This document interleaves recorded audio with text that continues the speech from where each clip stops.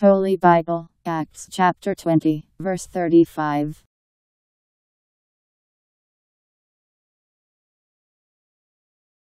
In all things I was an example to you of how, in your lives, you are to give help to the feeble, and keep in memory the words of the Lord Jesus, how he himself said, There is a greater blessing in giving than in getting.